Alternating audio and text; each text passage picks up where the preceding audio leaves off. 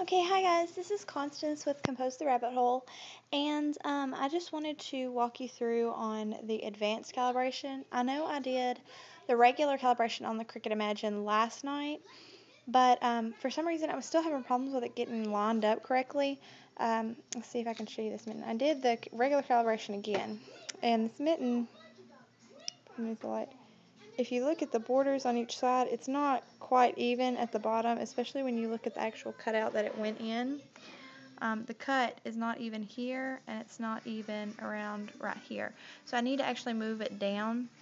And the regular calibration is just using the um, standard way, and it's not working for me. So I called Provocraft to see what I could do because it's just sometimes it will cut complete images off of my thing. It will cut complete lines off. So I really needed to know what to do. So I'm going to show y'all how to do this. Okay.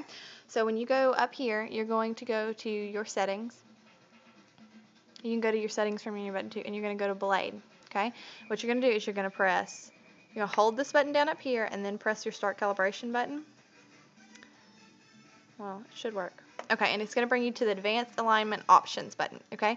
You're going to turn off the Auto Calibrate Offsets, okay? And mine, see, it's got a top and bottom and a left and right, okay? And mine actually needs to move, mine needs to move down, so I'm going to try moving it 1 to 18. I think my left and right are even maybe a little off. I think they're a little off. I think it's just up and down, but we're going to try that.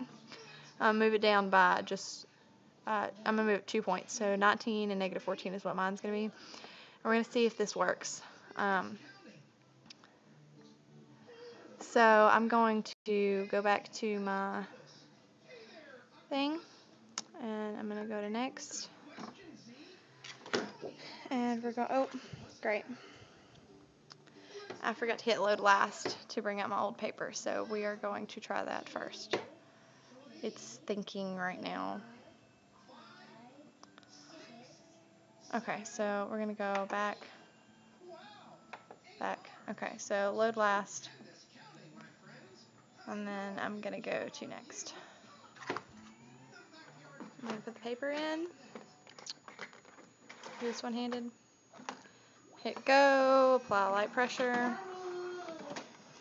Okay, and I have this on draft right now just because I don't want to waste any of my ink. I have found that this cartridge lasts really long time. I have printed out quite a few full pages for backgrounds as well as quite a few images.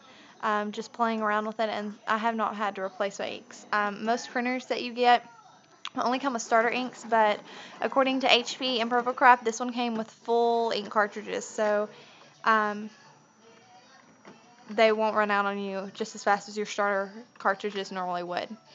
Because starter cartridges only normally come with a quarter thing of ink, which is why when you buy a new printer, they run out so quick. Um, but Provocraft said that this comes with full cartridges. So let's go ahead and cut this out image. Let's cut this image out and we'll see what my lines look like. And this is, I did a calibration on the other side of the page. That's where those cuts and this came from.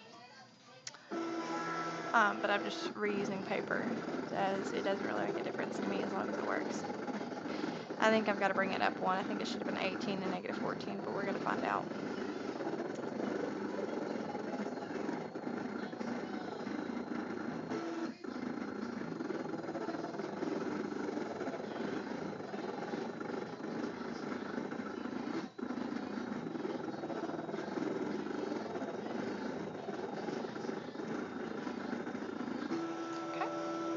what it turned out like.